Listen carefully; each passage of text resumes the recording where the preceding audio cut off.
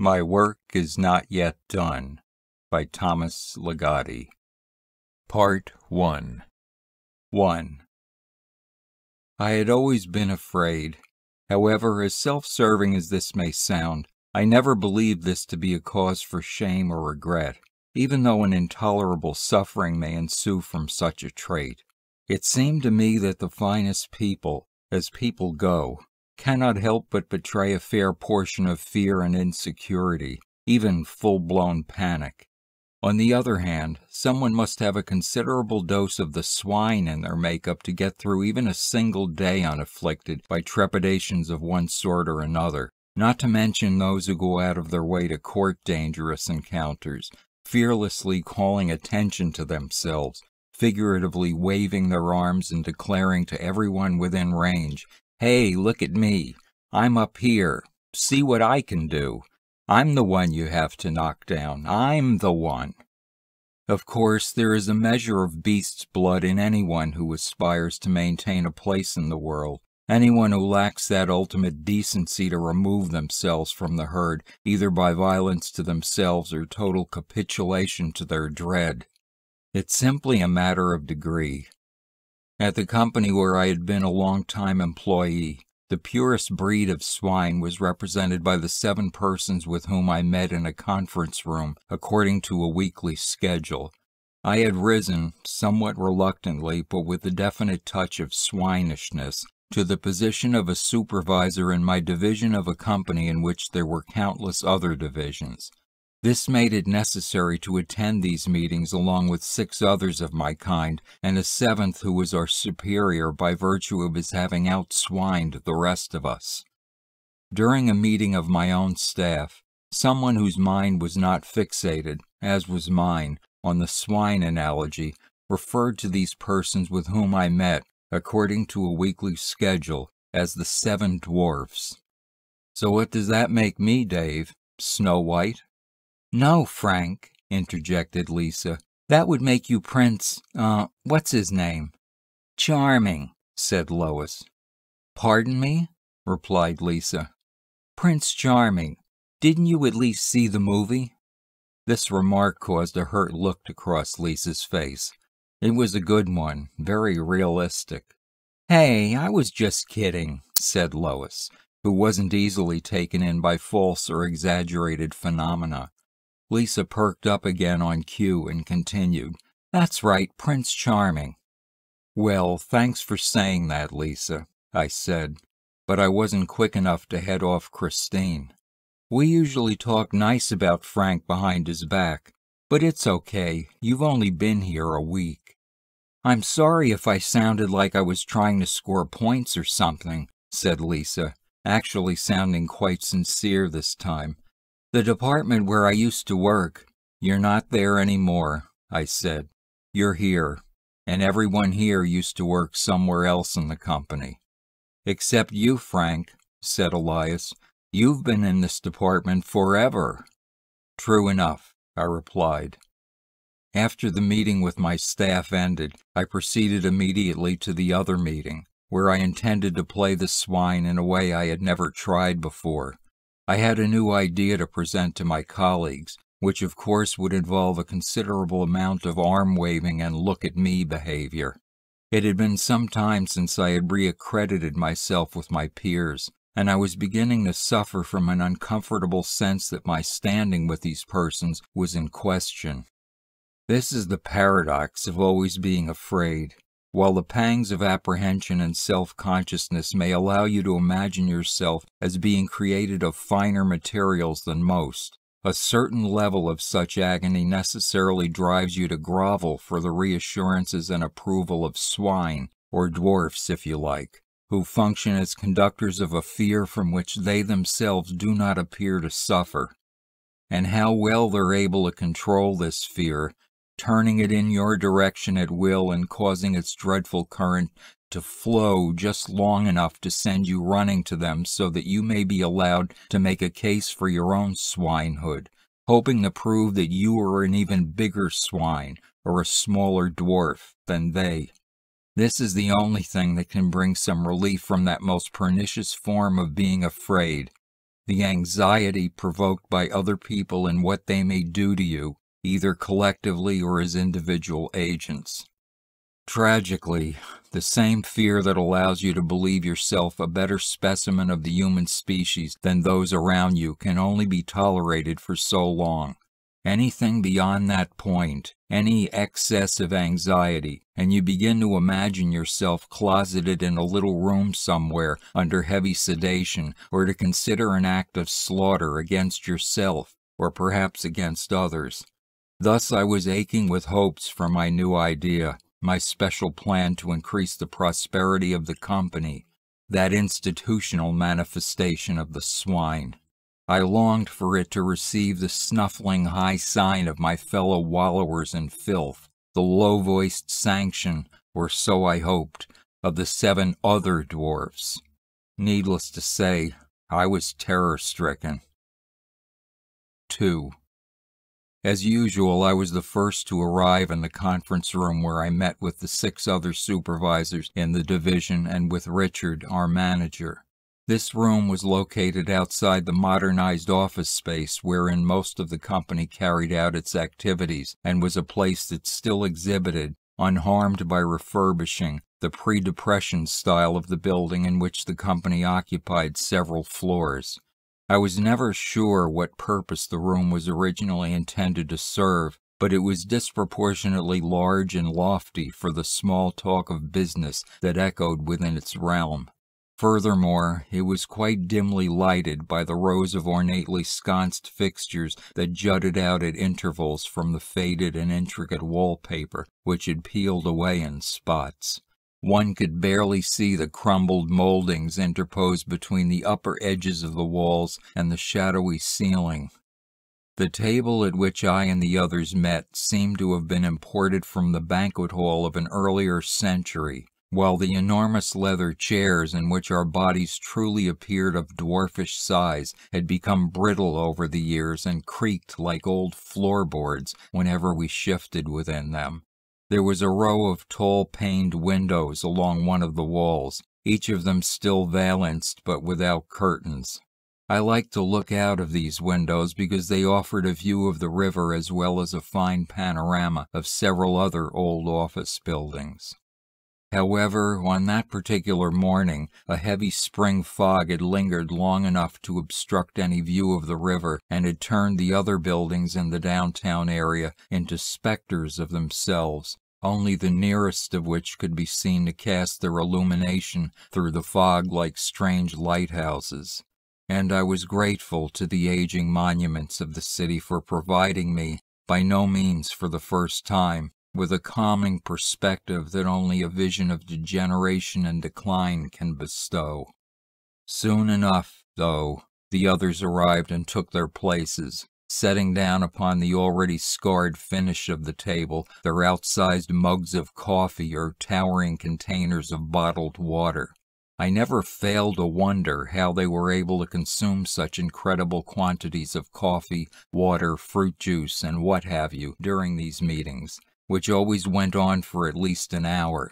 I myself made a point of not taking in unaccustomed amounts of liquid prior to these weekly convocations, just so that I might avoid the necessity of disrupting the proceedings by bursting out of the room in search of the nearest lavatory. But none of the others appeared to have the least problem in this area, however closely I scrutinized them for telltale signs of stress. Least of all did Richard seem bothered by such bodily strain, since he always showed up with not only the largest container of coffee, but also a huge thermos from which he would at least twice refill his great barrel of a cup on which was emblazoned the company logo. Just watching them gulp mouthful after mouthful of their various liquids sometimes brought fantasies of a gleaming row of urinals to my mind. Perhaps they all wore special undergarments, I once considered, and freely relieved themselves as we spoke about budgets and headcounts, speed to market, and outsourcing. All of which is simply to say that my co functionaries within the division, along with Richard, were a complete mystery to me on every level. They seemed to me as fantastic beings who well deserve the fairy tale designation of the seven dwarfs, even though there was a more mundane and obvious reason for calling them such. This reason, I should point out, did not derive from any shared qualities between Dopey, Grumpy, Sleepy, and the rest of that cute and hard-working crew, and the seven persons, not including myself, now seated at that nicely decrepit table. My fellow supervisors, plus Richard, were neither conspicuously cute, with one exception, nor hard-working, but their names were, no kidding, Barry, Harry, Perry, Mary, Carrie, Sherry, and, of course, Richard, whom I had heard referred to as the Doctor, although the origin of this nickname, which was a matter of both credible anecdote and curious imaginings, in no way linked him with the dwarfish Doc of the fairy tale. Richard finally cleared his throat with a forced rattling sound that was his way of bringing the meeting to order. Everyone stopped chatting and turned toward the head of the table, where sat the only one of us whose chair didn't appear too big for his body. But Richard's stature was more than that of someone who purchased his suits at clothes stores catering to large bodied men. His physical conformation, straight and solid from head to toe, was imposingly athletic, the anatomy of an erstwhile ball player of some kind who had kept his shape into middle age. In all probability, Richard had garnered his share of shining trophies for the glory of self and school. He wouldn't be the first member of middle to upper level corporate management with a background in the world of sport, with all the playing field metaphors they borrowed from that milieu, chief among them being all that puke inducing nonsense about teams, the characterization of someone as a team player was at the top of my lineup of emetic expressions of this sort. All right then, let's get started, barked Richard as he stared down at a page on the table that listed the agenda items for that week's meeting. Looks like you're up first, Domino. Something to do with new product. For the record, my last name is not Domino, it's Dominio with two I's. For the record, I had attempted to correct Richard both publicly and privately regarding the accurate form of my surname. For the record, I could never be absolutely sure that it wasn't pure indifference rather than a taste for malicious mockery that accounted for his persistently calling me Domino, although this sly mangling of my name never failed to draw a few muted snickers from the others, and Richard could not have been oblivious to that. Like a dealer at a poker game, I quickly passed around to my colleagues the two page proposal I had distilled from a much longer document. This handout was composed with wide margins and a large font for speedy absorption into the systems of busy middle management types. I tried not to look around the table as they all glanced it over, turning from page one to page two almost simultaneously. When Richard was finished, he laid the document on the table before him and gazed upon it as if he were looking at a bowl of cereal in which he thought he might have spotted something unsavory, or possibly peering into a riverbed in which he glimpsed a shiny nugget in the shallows of clear water. Forgive me, Frank, said Richard, but I'm not sure I understand what this is supposed to be. I sat up as high as I could in my giant's chair. At the last meeting, you said that New Product was putting out one of their rare calls for suggestions for, well, new product ideas. This is a proposal for a new product, possibly an entire line of new product. That much I comprehend, thank you. It's just, um, this is a little far afield from what I think anyone had in mind. I realize how it might seem that way.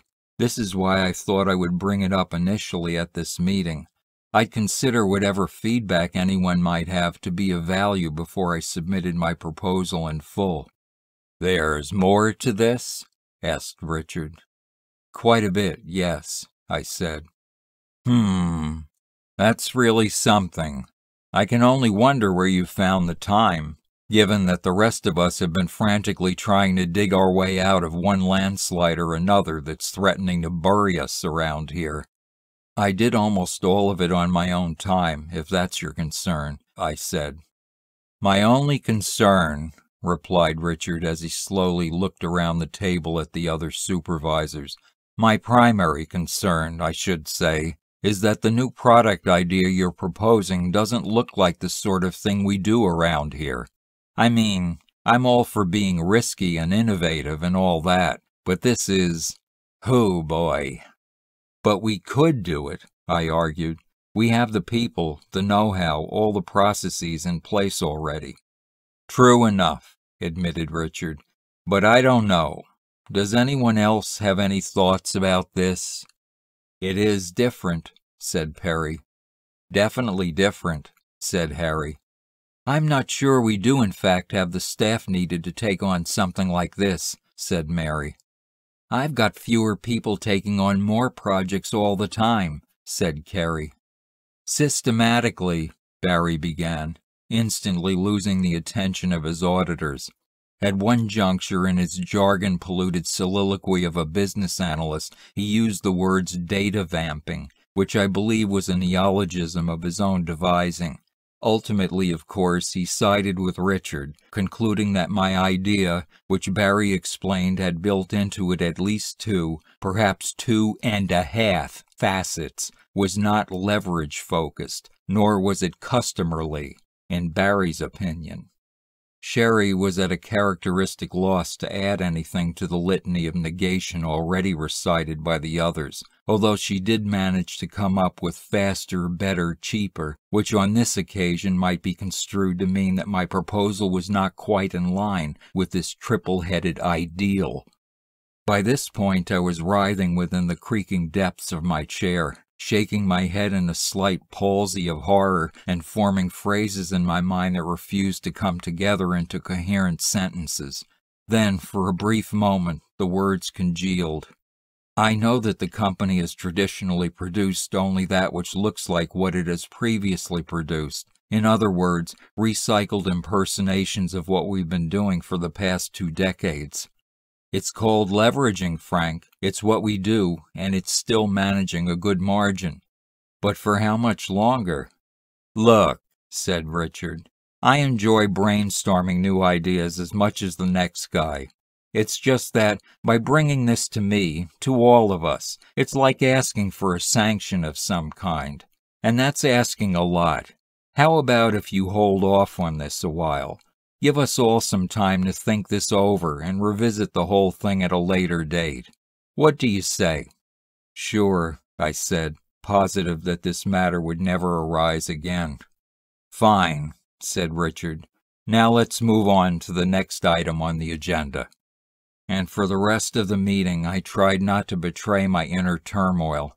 Moreover, I couldn't keep my mind from its obsession with a new terror the sense that I had been the victim of an ambush, that no scheme that I might have advanced before that particular gathering stood a chance, that whatever plan I had brought to that meeting and laid upon that time ravaged table would have died there. Outside the windows of that antiquated room, the fog was slowly fading away, revealing once again a view of the river and a cityscape in which my mind moved among scenes of calming decay. 3. Fear, when blended with failure, distills into a deadly brew. I had been so caught up in what I thought was the brilliance of my new idea, my special plan, that I never seriously pondered the consequences of it being rejected out of hand by the very persons I most wanted to accept it. This was a miscalculation of vast proportions, no question about it. For the rest of that morning, as I sat in my supervisor's cubicle, I could do nothing but inwardly reproach myself for being a creature of deranged judgment. And not even that. I was no more than a primitive organism with no faculty of judgment whatever, a slick of slime mold posing as a human being. You're making too much of this, said one of those secondary selves that are implanted inside every one of us and that come to attention on these occasions, spitting forth idiotic cliches like a mad schoolmaster from a worn out textbook of conventional wisdom. In the grand scheme of things, the voice continued before I grabbed it with both hands and wrung its neck, spitting out my words of contempt through gritted teeth. A. There is no grand scheme of things. B. If there were a grand scheme of things, the fact, the fact that we are not equipped to perceive it, either by natural or supernatural means, is a nightmarish obscenity. C. The very notion of a grand scheme of things is a nightmarish obscenity. When Galileo brought his findings before the board of directors at Vatican Incorporated, he was at least armed with facts that reasonably supported his botched attempt to deal with those who endorsed the obscene notion of a grand scheme of things. He could know that he was right, even though he was also an utter fool for sharing what he knew with the wrong people. I couldn't know anything about the worth of my idea, my plan, its value resided exclusively in the estimation of the people around me, especially Richard. It didn't matter, not even to me, whether or not it would prove to be a source of profit to the company, in the unlikely event that the greater powers of that commercial entity ever acted on my plans. Most initiatives did not amount to much.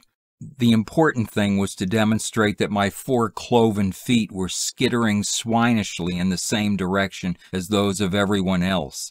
The debacle that took place at the meeting that foggy morning merely served to give away what I most wanted to hide that I was moving in an entirely different direction from the rest of them.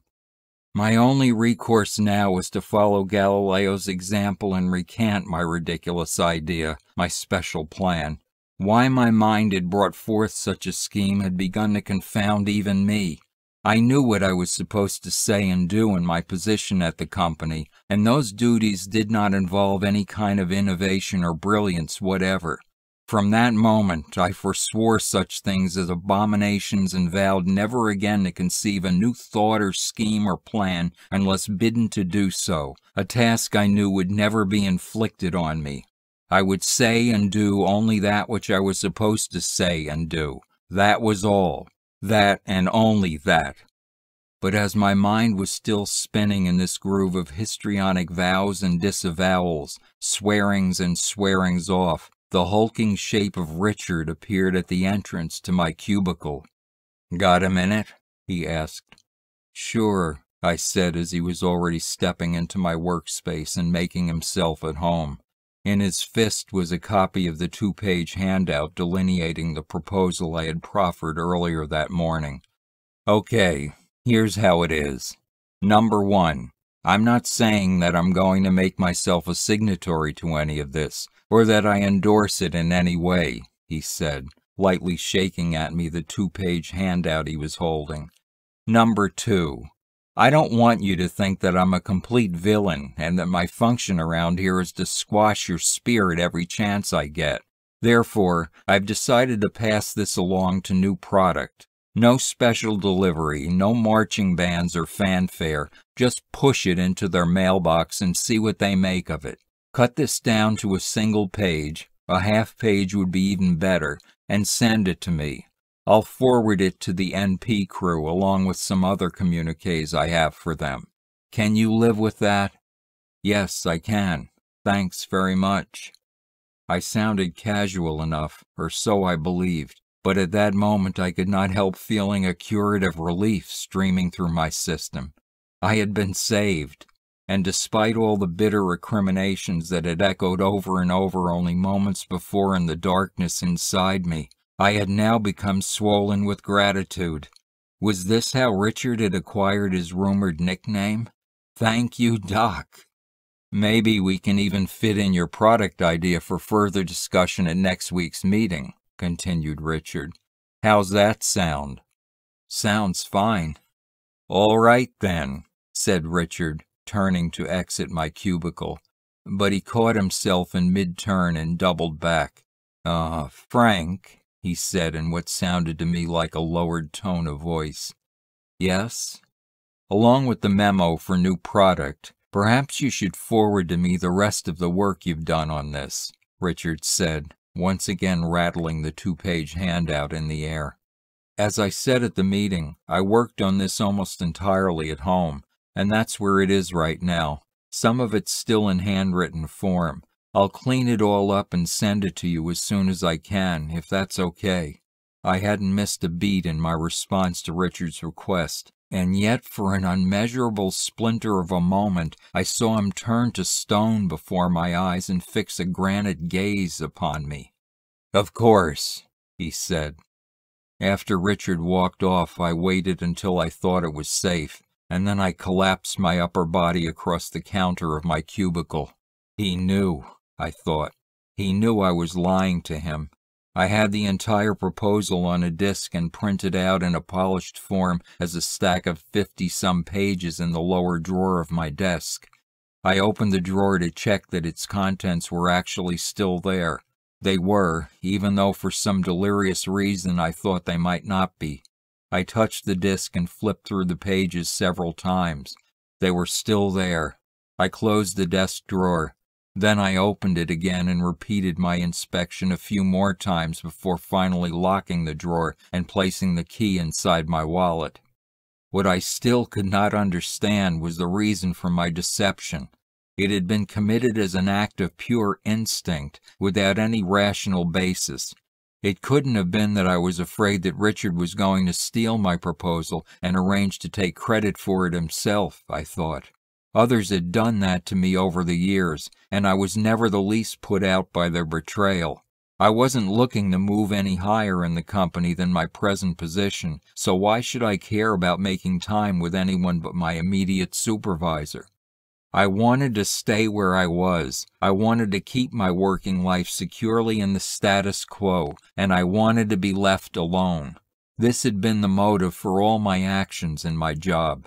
This was why employees of a similar disposition transferred to my department whenever there was an opening. We were a troop of contented parasites, self made failures, and complacent losers.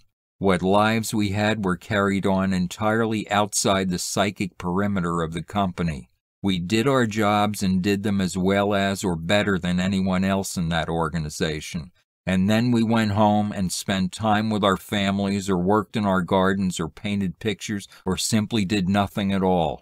Whatever we sought to attain in this precarious and, in all candor, wretched world, we looked for outside the company. Of course, I could always send my full proposal the very next day, and Richard could then do with it what he wished. In that sense, I had done myself no special harm, but he would still know that I had lied to him, and I had no idea what that might mean. 4. Three days passed. On each of those days, immediately upon waking from my senseless or scary dreams, I said to myself, Today I'm going to send Richard the document of my plan. At the end of each day, having sent nothing to Richard, I said to myself, Tomorrow, without fail, I'm going to send Richard the document of my plan. So why was I stalling in this matter? Why was I setting out on a course that was clearly one of self destruction compounding my existing offense of having lied to Richard with that of blatant contempt for his instructions to send him the complete document of my plan. A provisional answer to this question came to me slowly over the course of those three days, and it had begun with that weekly meeting at which I felt myself to be the victim of ambush by all of them, not only Richard, his was simply the biggest and most hideous head of the monster. Six others also emanated from the body of the beast, circling on long, snaky necks about the expansive and twisted face at the center of the thing, with its bloodshot eyes and killing breath. Richard did, in sooth, have a case of halitosis that could gag a maggot.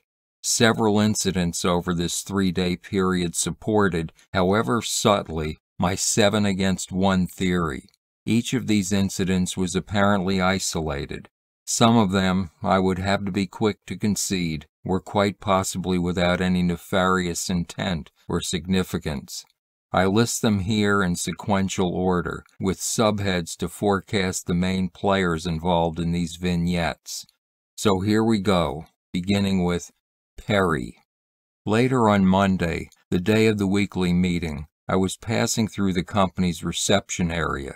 This was a plushly carpeted, softly lighted, and expensively decorated space that served both to impress and intimidate anyone who entered it, particularly first time visitors, such as new job applicants waiting to be summoned for an interview, business people waiting to be summoned by whomever was their contact within the company, or simply some kid delivering pizzas. Among the appointments of this area was a grand piano, which no one in the company ever touched, except Perry. It was not an unusual sight, especially around lunchtime, to see him either approaching, walking away from, hovering over, or actually playing that piano.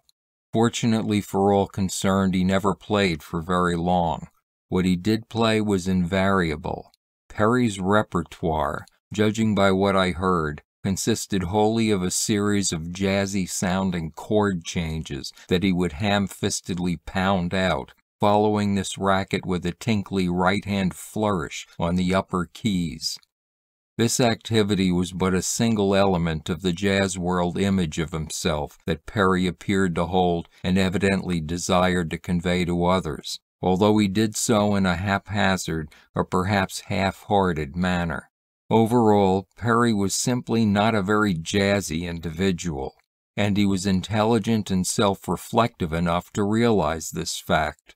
Nonetheless, from whatever mysterious motives, Perry was willing to settle for a Halloween costume version of Mr. Jazz that consisted of a few props, a stereotyped gesture or two, and a plastic mask.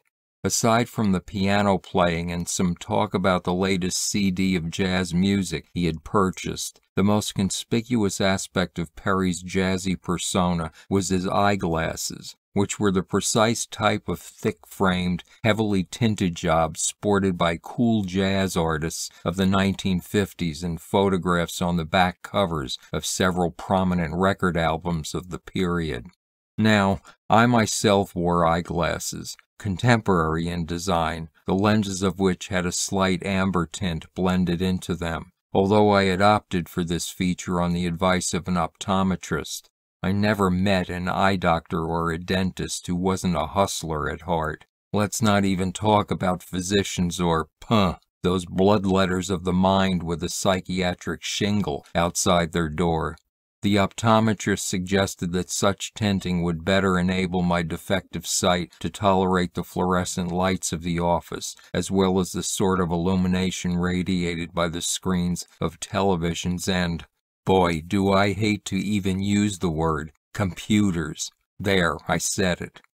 As previously mentioned, I was merely passing through the company's reception area, my destination was elsewhere on that floor, where I needed to attend a meeting that concerned some routine function of my job.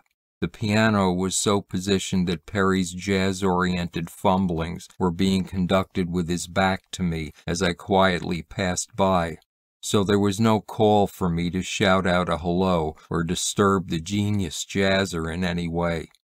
But just as I was about to move out of Perry's range, I saw that his head turned to look at me over his shoulder.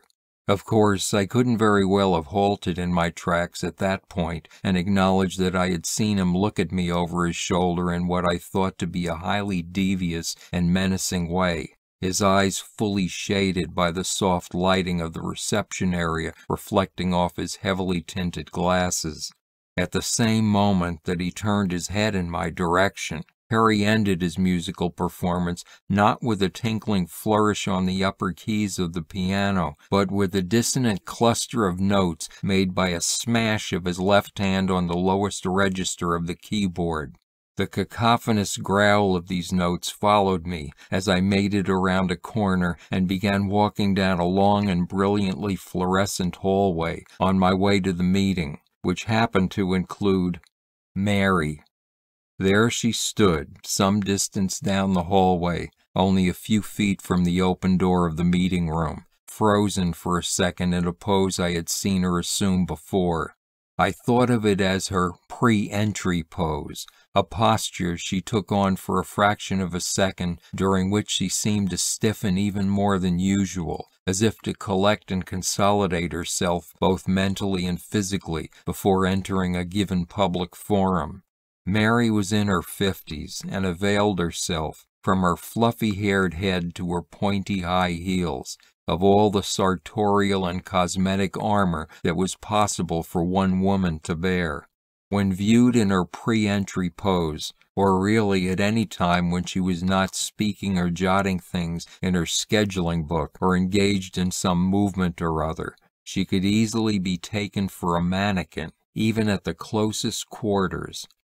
Without turning her head toward me, I didn't need that from a mannequin. She entered the meeting room, and I followed close behind.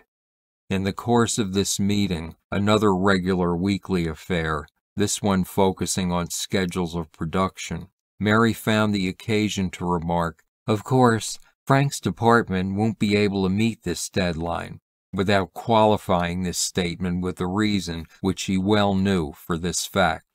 We're still in the process of testing the new software, I explained for the benefit of anyone at the meeting who might not have known why there was a temporary decline in the productivity of my department. The word software, as usual, stuck a bit in my throat and came out sounding a bit cracked. Of course, we understand, said Mary, while jotting away in her multi ringed scheduling notebook, not giving the slightest glance my way as if I had just ineptly attempted to excuse myself and my staff on false grounds. So the damage, even if it was restricted entirely to atmospherics rather than facts, was done, and well done. No further encounters took place that day between myself and the seven. Let's just call them that from now on and skip the dwarf part. As far as I'm concerned, fairy tales and legends, mythologies of all times and places, are just festering vestiges of a world that, for better or worse, is dead, dead, dead. Human life is not a quest or an odyssey or any of that romantic swill which is force fed to us from our tenderest years to our dying day. All right then, as Richard, like so many of his intrepid type, would say. The next run in I had with one of the seven didn't occur until the following morning, Tuesday, when I looked up and saw standing at the entrance to my cubicle, Carrie. Do you have any postage stamps you could spare? she asked. I've got to get a credit card payment in the mail pronto. I was in the middle of conferring with Lois about the earlier mentioned software my staff was testing when Carrie, anorexic and bird-beaked with a squarish Marine Corps haircut, interrupted us. Yeah, I think I've got some, I said, but what I thought was, why is Carrie borrowing postage stamps from me? She's the person to whom everyone in the division appeals when they've run out of stamps. The answer, which I heard with one ear as I rummaged through some desk drawers, was rambling out of Carrie's own mouth. Someone stole all mine. Took a whole roll, not even opened, right out of my desk drawer. I'll have to start hiding the things. Everybody knows where I keep them. Here you go, I said as I turned in my chair and held out to her a crumpled packet with a few stamps left in it. At the same moment, I saw Carrie pick something up from my cubicle counter. Hey, what's this? she asked, or, more accurately, accused. What was this indeed, I thought, as I saw Carrie handling an unopened roll of stamps. Lois, who was seated in a chair between Carrie and myself, was trying to make herself discreetly invisible by fixing her eyes firmly upon some dimensionless point on the carpet. Carrie, I said, I have no idea where those came from. I just bet you don't, Frank, said Carrie before she turned and marched away. Lois, I said, did you see those stamps when you came in here? Lois materialized from her invisibility and replied, No, but I did not see them either. I mean, if someone should want to make a big deal about it, what could I say? Do you think I might have stolen Carrie's stamps? Not for a second, she shot back so fast that her words nearly overlapped my own. How could you even ask me that? Sorry, I said. Apology accepted, said Lois. But just because I know you didn't take Carrie's lousy stamps. Yeah, it looks bad, I said. Yes, it does, Lois agreed. That, of course, was exactly why Carrie made sure that Lois was present as a witness. This enabled Carrie to say, My stamps were missing, and I found them on Frank's desk. Go ahead, ask Lois. She was there. And what could Lois say but, Yes, I was there. I saw Carrie pick up a roll of stamps from Frank's desk. Of course, she could refuse to discuss the subject, but obviously that would only further incriminate me, suggesting not only that Lois witnessed the event, but that she also considered it too sordid to speak of. Carrie had thus crafted a setup for which I had no possible defense in the court of rumor, even if nothing could be positively proved against me. In contrast to the bold tactics of Carrie were the effortless subversions of Harry. An affable enigma is the only way I can describe him.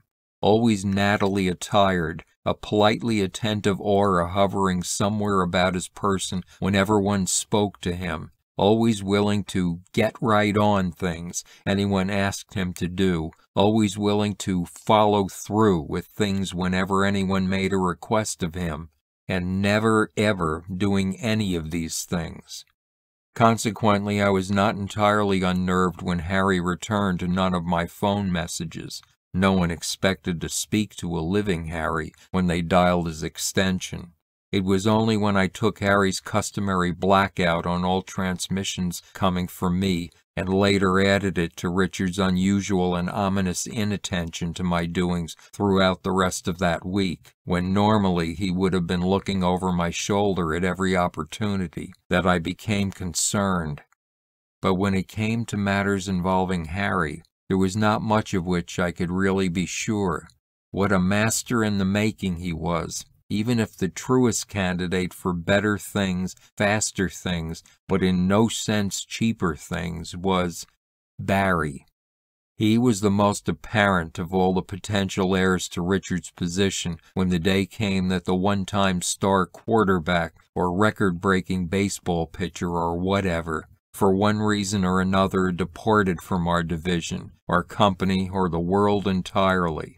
Seemingly, Barry was only passing through on a brief tour of duty as a departmental supervisor in the division.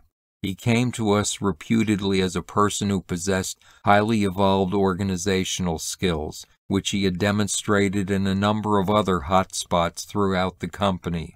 When he arrived in our midst, he was already widely celebrated, both behind his wide back and to his plump, fast talking face, for his big brain and his freakish talent for sizing things up, for bringing law and order to the company's most unruly frontiers and outposts. My own sources inform me that the only reason that anyone with whom Barry worked endorsed his gifts so vigorously was to expedite his departure from their precincts, foisting him off on some unsuspecting department that could use some revving up and benefit from the rare potency of his well endowed frontal lobe. And thus arose the legend of Barry the Brain, Barry the Organizer, and, most unfortunately, Barry the Reorganizer, Wherever he went in the wilderness of the company, he was given a free hand to revise the charts and maps, the processes and procedures that had always seemed to work so well, until he got his meaty hands on them. Because, in fact, as Barry moved with mighty strides from one position to another in the company, he left nothing but chaos, confusion, and conflict in the dust behind him. In my own observation, I could understand how he might be taken for a person of superdeveloped organizational skills, if only because he showed himself to be cruelly intolerant of the least lack of organization on the part of those around him, using his mile a minute mouth, his tireless zest for charts and graphs that no one else could comprehend due to their overdetermined complexity, and his utterly bogus reputation to call into question the qualifications of anyone who questioned his. Yet there was a time when I actually empathized with this man, who obviously suffered from the same clinical disorder, obsessive compulsive, with which I myself was plagued, although I struggled to hide my mania, which manifested itself in ways that could not help me in my career, rather than parading it for all to see. But the time for empathy had passed when I arrived at work earlier than usual on Wednesday of that week. I wasn't at all surprised that Barry was in the office at that early hour, although my inner alarm went off when I saw him marauding about the region of my cubicle, moving, as he always did, at a comically brisk pace for a man of his heftiness. Barry, I said by way of greeting. Frank, he returned, his voice dopplering into the distance. Then, immediately upon entering my cubicle to begin my work that day, I jumped back as if a wild animal had leapt out at me. My own obsessiveness did not involve a fastidious sense of organization, but there was my workspace, and it was trim. I didn't think for a moment that the housekeeping staff of the building had gone on a rampage of tidiness where my cubicle was concerned. No others in the area betrayed such treatment, as I noted after a short and secretive investigation. Okay, so I got the message.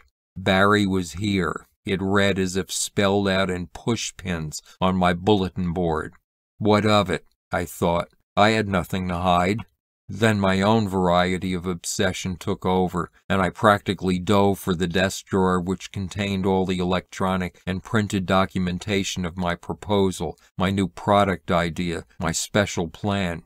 I was on my hands and knees staring at the dark metal face of the drawer. I wanted to dust it for fingerprints, using a magnifying glass to examine it for the tiniest signs of forced entry, test with a micrometer if the lock had been tampered with by foreign hands. Of course, none of that would have alleviated my anxiety, and in time, still on my hands and knees, I finally grasped the handle of the drawer and gave it a heart stopping pull. It was still locked, for whatever that was worth and that was worth nothing because someone could have picked the lock on the drawer, taken its contents, and closed it back up again. Pulling my wallet from my back pocket and fumbling around for the key, I then opened the drawer. Everything that had been inside before was still inside, yet I nonetheless wanted my print kit, magnifying glass, and micrometer to judge if anything had been disturbed. In addition to the documents locked away in that drawer was a folder of photographs of sights around the city, photographs which I had been taking for years. I had many more such folders at home, full of pictures of alleys and abandoned houses, boarded up churches, a derelict library with interior photos of fallen shelves and moldy books strewn across a gritty floor. Most precious to me was a series of photos I took of a place where there stood a crooked street sign, but no longer any street deserving of the name. Just some rubble along a path and a few relics of unidentifiable structures on either side of that path.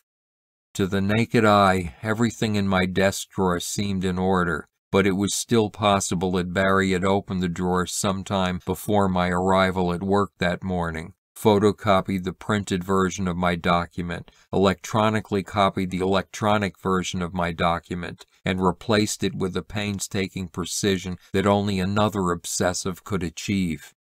What are you doing down there? asked the voice of Barry the detective, Barry the spy. I slammed the drawer closed, too afraid to realize that I was giving myself away. I was taking something out of my pocket and a quarter popped out rolled under my desk. Something out of my pocket? That would not cut it with Barry. It had to be specific. But I did say a quarter, not just a coin. Did you want something from me? I asked. Yes, I did, replied Barry in a leisurely manner, uncharacteristically so. He then walked away, also in a leisurely manner. Barry the mover, Barry the shaker, Barry walked and talked in a leisurely manner. I opened the drawer again and checked its contents, touching the lousy computer disk and rifling through the fifty some pages of the printed document. Then I locked the drawer. Then I opened the drawer and repeated this ritual as needed throughout the day. I should have taken the goods and gone back home that morning.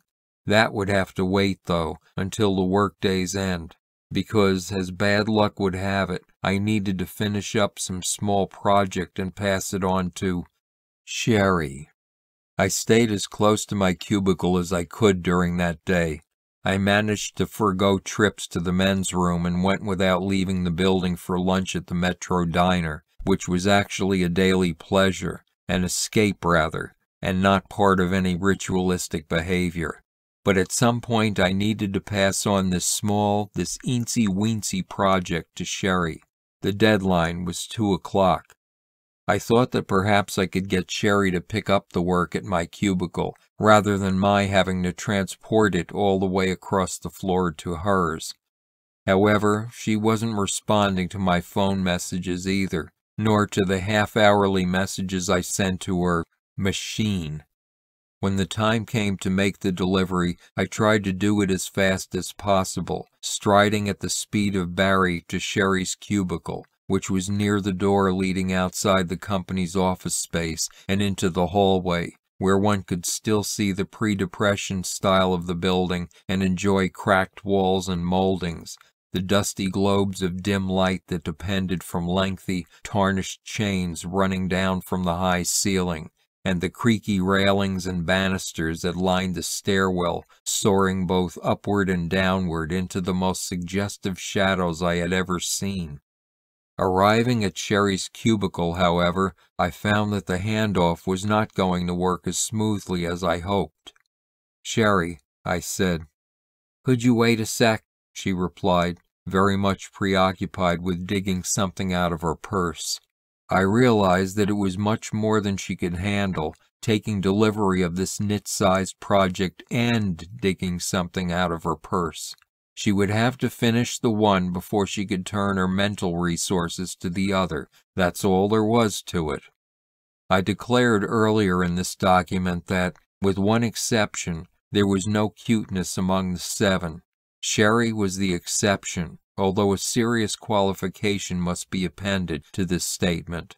Physically, she was attractive, not to the point of being a harrowing beauty, but enough to put her over the line between women of average or even good looks into the company of those who possessed across the room attraction.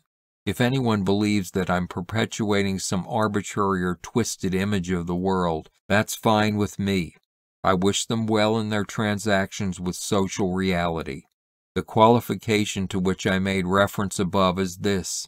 If you happened to cross that room on the other side of which stood Sherry, what you confronted was, I can't even name it, some kind of thing inhabiting the body of an attractive woman an alien from some diseased planet or a creature of low evolutionary stature that by some curious means had insinuated itself into a human being at some stage in her development, the result being this Sherry thing. If she closed her eyes and didn't speak, Sherry could indeed pass for an attractive human female. But the moment she spoke, or the moment her thing like eyes came into view, she became a gorgon, no mythic significance intended or necessary. This duality that Sherry embodied could often be a source of tremendous conflict to those around her, who one moment would experience the tide pull of her figure, and the next moment, when she happened to speak or the image of her eyes loomed up, would be inwardly retching with disgust at the very existence of this Sherry thing as well as heaving away inside with self-revulsion for having felt an attraction to this creature. And at the moment I was standing at her desk, Sherry's eyes were turned away from me and I had already forgotten the sound of the few words she had spoken. So I stood and watched as she dug around for something in her purse, and the deeper she dug, the more she shifted about in her chair, causing her already short and close-fitting dress to rise higher and higher toward her buttocks. I was transfixed, turning to stone, until the door leading out into the hallway opened and someone entered the company's office space. This particular someone was Betty, one of the higher vice presidents in the company. I saw that it was Betty because, having emerged from my fixated staring at Sherry, I now noticed that palmed within her right hand was a small mirror in which she was watching Betty, watching me, watching her. Sherry then giggled and turned around. Hi, Betty, she said. Hello, Sherry, Betty said. But Betty had no hellos for Frank after she had seen me looking at Sherry in a way that I never wanted to be seen. Her face merely exhibited a look of disgust at me before she continued on her way. Now, what have you got there, Frank? said Sherry. Without a word, I dropped the folder containing the project on her desk and, for the first time that day, made a visit to the men's room. 5. It was now Friday, and there had been no communication between myself and Richard since Monday. As a formality, I decided to check with someone in New Product to confirm whether or not Richard had delivered my truncated version of the two page proposal that I had shown to the seven on the first day of that week. No surprise. New Product had no record of such a proposal with my name attached to it. No surprise. They were no longer even soliciting ideas for new product and rarely, if ever, did. No surprise. New product was as much a mystery to me in its purpose and function as every other division in the company.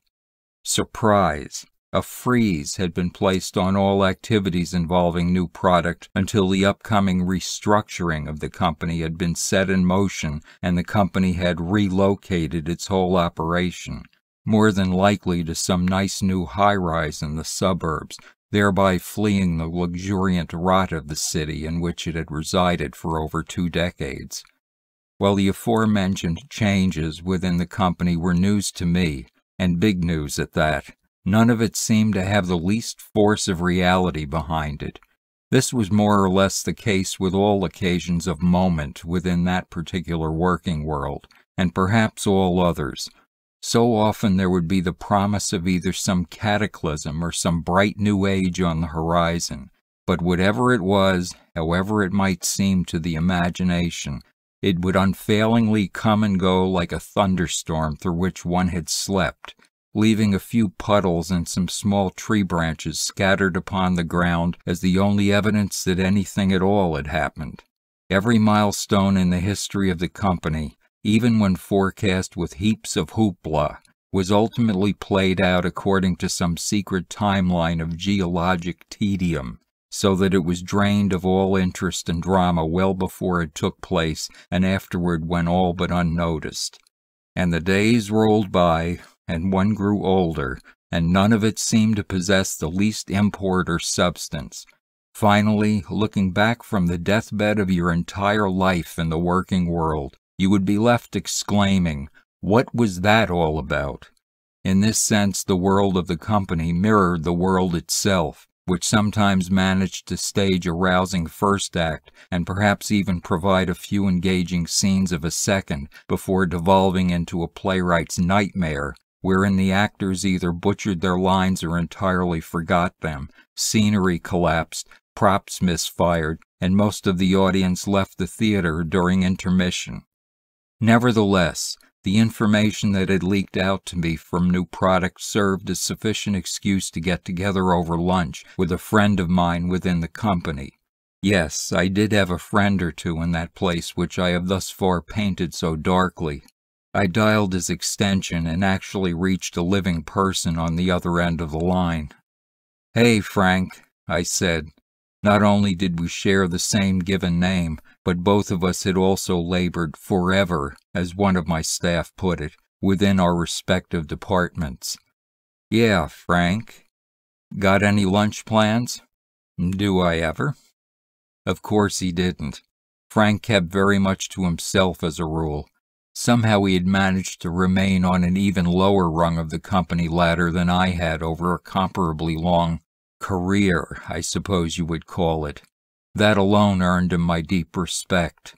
He also knew quite a lot about the company and its personnel that normally would have meant nothing to me. But that week had been anything but normal, and aside from what I had to tell Frank about the info I acquired from new product that morning, there was something I wanted to ask him which served as my prime motivation for my requesting a lunchtime audience with my namesake. I had been waiting outside a few minutes before Frank emerged from the revolving doors of the old building, put on his sunglasses, and lit up a cigarette. The usual place? Frank asked. Unless there's somewhere else you'd prefer, I said. He just smiled, and we both started walking the mile or so to our destination, weaving through the regular cast of suits and street people, Frank looking down at the sidewalk as he smoked one cigarette after another, while I alternated my gaze between the street level, cheap clothes stores, cheap electronics stores, liquor, lotto, and checks cashed here stores, wig shops, pawn shops, gun shops, and the Beaux-Arts skyline of the ever receding past. The Metro Diner was located just beyond the fringes of the central downtown area of the city.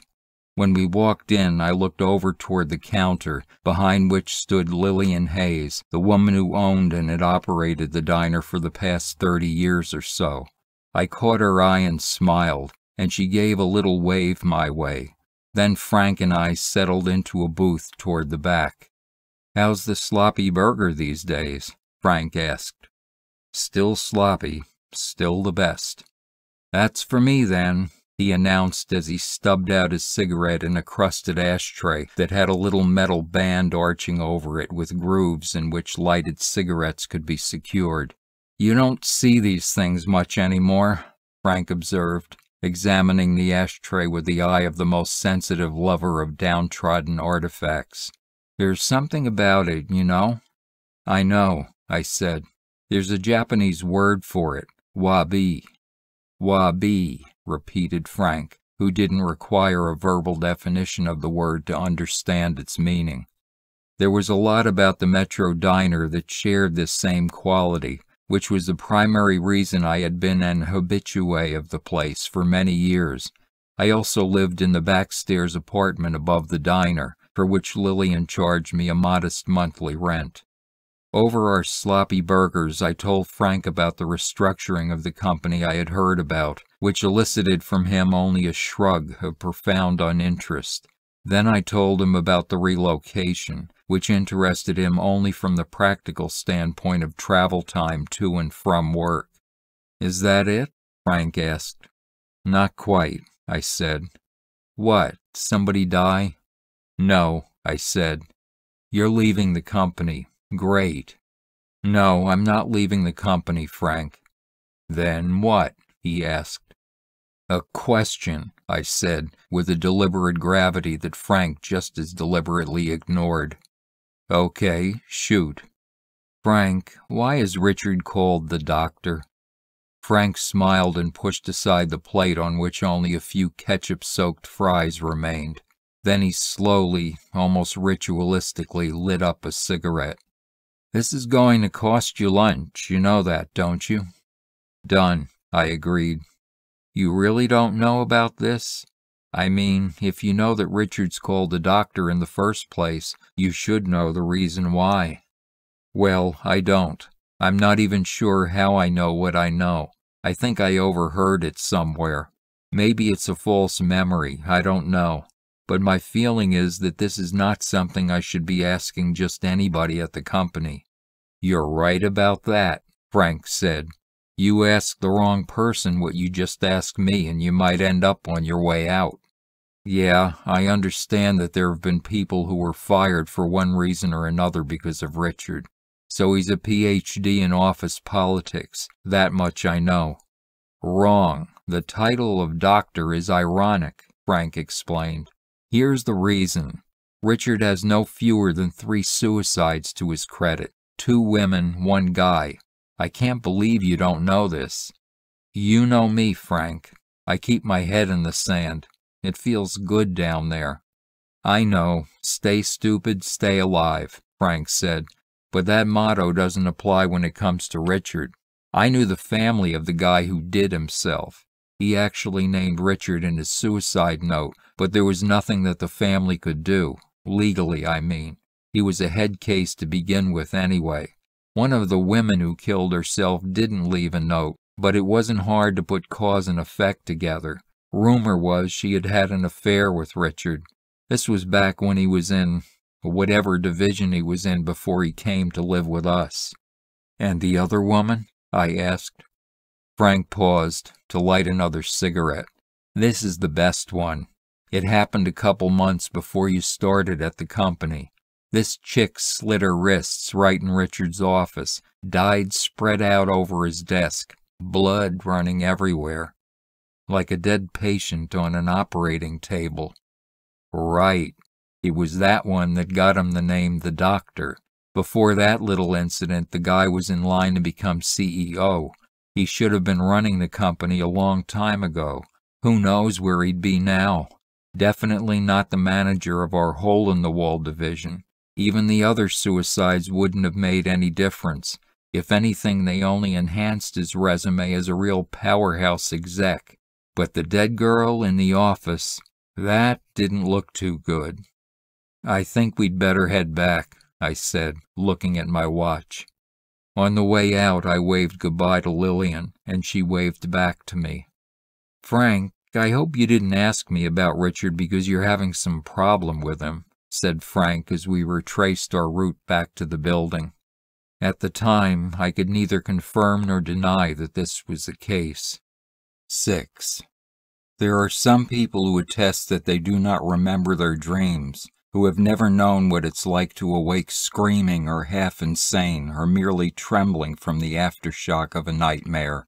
These are not necessarily simple minded persons or happy persons or persons of stunted imaginations but somehow they have retained a lifelong innocence, never knowing the dread some feel upon approaching the bedroom and facing that descent into the darkness of unknown worlds that may range from cartoonish absurdity to quaking horror. They are very lucky people. I wish I were one of them. Over the weekend, I tried to put the office out of my mind like a bad dream. This task was made considerably more difficult by the new nightmares that began visiting me, ones in which a sleep world version of Richard took center stage. In these dreams, I found myself back at the company, a place that resembled the dime store I used to visit when I was a kid. In the real dime store, there was a corner that served as a miniature pet shop where living merchandise was on display. Several aquariums held a variety of small fish, and terrariums featured chameleons or tar-colored reptiles of some type that lay motionless against the glass. Parakeets twittered in bell-shaped cages, while guinea pigs and gerbils scampered about in square, smelly cages. I was walking slowly up and down the aisles in my dime store nightmares, fearful of drawing attention to myself. The reason I walked so slowly was that the floors were made of soft slats of wood, which creaked with every step I took, and I didn't want to be seen by Richard, who was over in the corner with the caged animals. He was doing something terrible to them, although I couldn't specify what it was but his fingers were able to reach between the closely spaced bars of the cages and could penetrate the glass of the fish tanks and the terrariums. I wanted to know what he was doing to these animals, but I was too afraid to look, and there were voices whispering to me about Richard. He's fixing them, the voices said, answering the unspoken question in my fearful mind. Why is he called the doctor? I asked aloud addressing no one. He's here to fix them, the voices reiterated, as if somehow meaning both to reassure and to frighten me at the same time. I wanted to run out of the store, but the front entrance through which I had entered was now only a blank wall. The only way out was through the back door in the corner where Richard was occupied with the animals, he seemed fairly engrossed in whatever horrible things he was doing, and I thought that if I could run fast enough I could make it past him and escape through the back. When I finally reached my destination, Fighting my way through the resistant atmosphere of the Dream Dime store, I found that the doors were locked. I tried to kick the doors open, but then I saw that their glass was reinforced by crisscrossing veins of metal wire. Before I woke up screaming, Richard turned his head to look my way and then reached out to grab me. But his hands weren't hands. They were great white gloves. But these gloves didn't have the requisite number of fingers on them. I had seen them before, and not just in dreams because nothing in dreams is original, it's all plagiarized from waking life, and the gloves in the dream were merely a frightening reflection of something I had come upon earlier that Saturday afternoon. There was a derelict warehouse that was located just outside the downtown area. For some time I had intended to make an excursion there in order to look around inside and take some photographs before the city had the place sealed up. I was not in any sense an expert photographer, and my equipment was not in the least sophisticated or expensive. I took my pictures in color, not the black and white of a serious photographic artist, and brought my film to a local drugstore for processing. While I certainly desired to retain a record of the sites I had visited around the city over the years, my picture taking was something of an excuse to justify and explain both to myself and to anyone else who might wonder, my presence in the city's many regions that had passed from squalor to abandonment, from abandonment to decay, and from decay into the ultimate stages of degeneration that bordered upon complete disappearance from this world.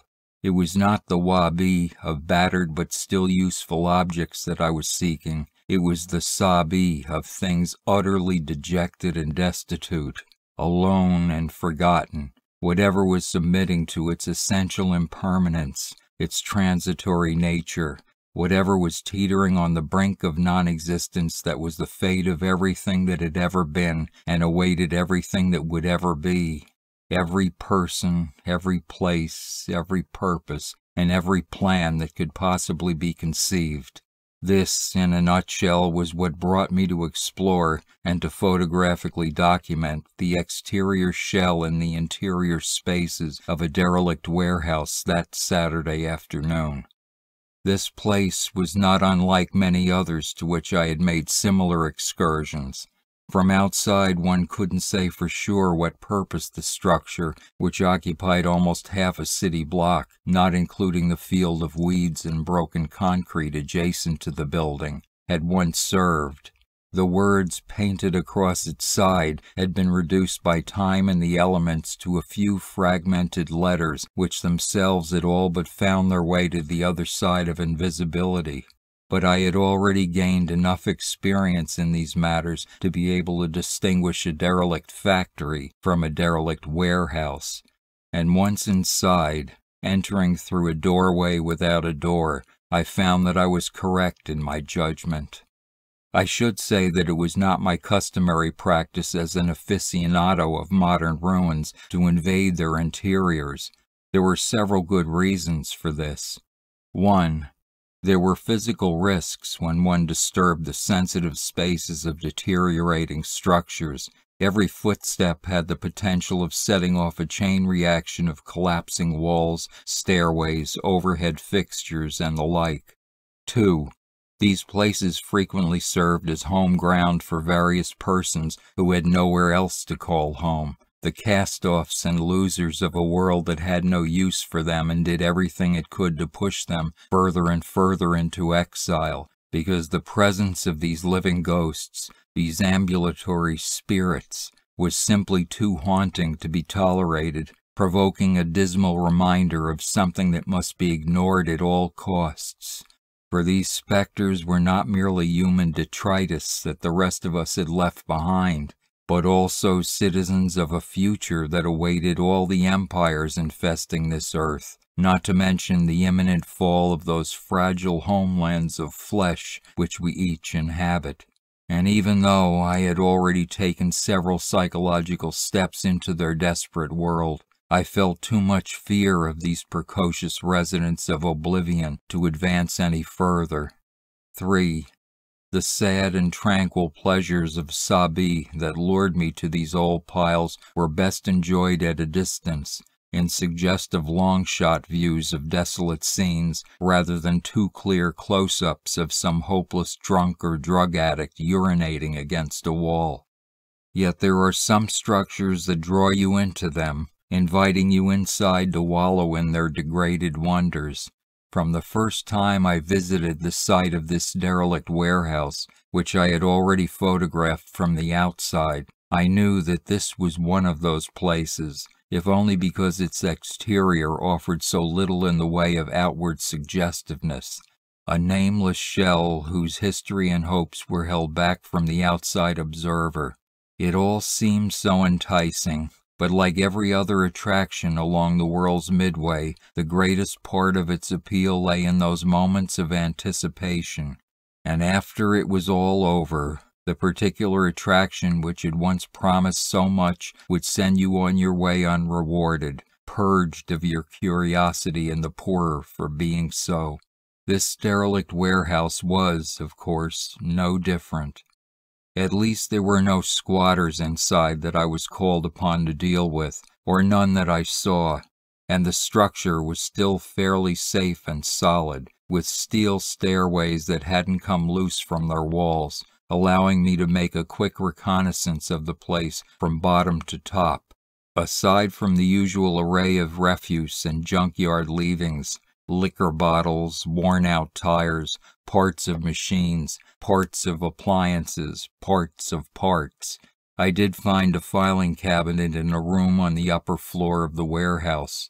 Within that cabinet's drawers, there were a few pages from a receipt pad that bore the ink stamped imprint of Murphy's Costumes and Theatrical Supplies, a business that evidently stored some of its eponymous inventory in the warehouse.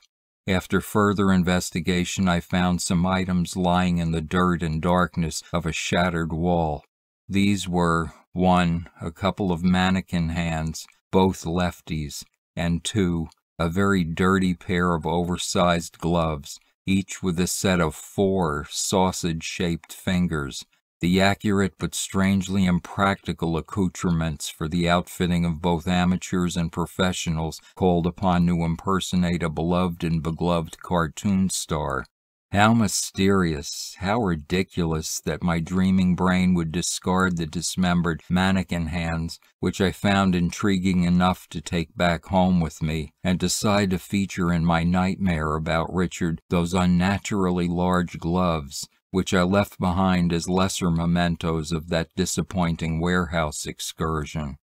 Walking back to my apartment, I passed through the many shadows cast by great hotels, movie theaters, department stores, and office towers, each of them once filled to capacity with dreams of a future that abandoned them all with an unforeseen haste leaving behind only untended monuments in a cemetery that no one bothered to visit anymore, with the exception of the odd photographer of ruins.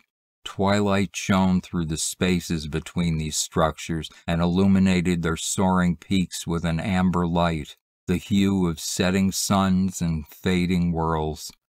The particular night that followed would have one hour removed from it, as the time zone in which I lived had daylight savings forced upon it, which for me only meant that I would spend the rest of that spring, all of summer, and five weeks of fall trying to recover a lost hour of sleep.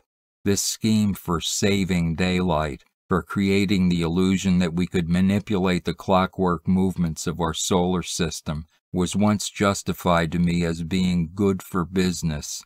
Before returning to my apartment, I stopped by the Metro diner to put this matter before Lillian. Good for business? she repeated with the emphasis of a skeptic. That's news to this old gal. You see anyone else besides you sitting at my counter? Lillian commonly referred to the diner as a whole with the synecdoche of her counter. You think another hour of sunshine's going to make any difference to me? Maybe it does to other folks. I don't know.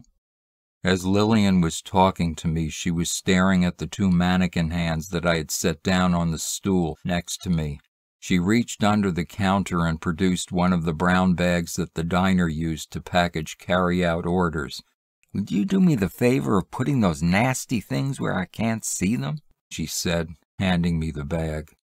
Sorry, Lil, I said as I stuffed the plaster hands inside the bag and crumpled it closed. But I wasn't sure if my apology was for thoughtlessly bringing these unclean objects into Lillian's otherwise well scrubbed place of business, or if the sight of these replicant parts of the human body somehow unsettled her. I suspected it was the latter, but I didn't pursue the issue. You still taking pictures of those old buildings and junk for your book? Lillian asked. Mm-hmm, I wordlessly replied, turning away to look out the front window of the diner. I found it difficult, almost painful, to perpetuate the lie of my book to Lillian. But what could I say to her? That I'm drawn to those old buildings and junk because, voice beginning to seethe, because they take me into a world, the seething bills, a world that is the exact opposite of the one, voice seething to a pitch, the one I'm doomed by my own weakness and fear to live in, uncontrollable metamaniacal seething, to live in during my weeks, my months, my years and years of work, work, work. I don't understand it, she said. There's so many pretty things you could be taking pictures of. Far as that goes, I still don't know why you live upstairs. Not saying I ain't glad to have a regular paying tenant, but even I live in a better neighborhood, and you could live anywhere you want. What can I say, Lil? I am addicted to your cooking. Speaking of which, could I get the meatloaf special before you close for the day? Sure can, Lillian replied as she lit up a cigarette. You hear that, Rudy? Yeah, I heard, the voice of Rudy called out. As she poured out two cups of coffee, decaf for me, as she already knew. I wondered if Lillian's employees feared her in the way that I feared Richard. After all, one business is essentially the same as another, and she was the owner, CEO, and sole stockholder of that long-standing enterprise called the Metro Diner. I judged her to be easily as tough as Richard and, in her own world, just as savvy. Was I now trading pleasantries with an elderly black woman who beneath the surface was no different from Richard the bastard, Richard the evil one? I liked Lillian, but I knew her only from the perspective of the customer, which made me just a little current in that river of cash that she needed to keep flowing into her accounts. You going to just stare at that coffee? Lillian asked.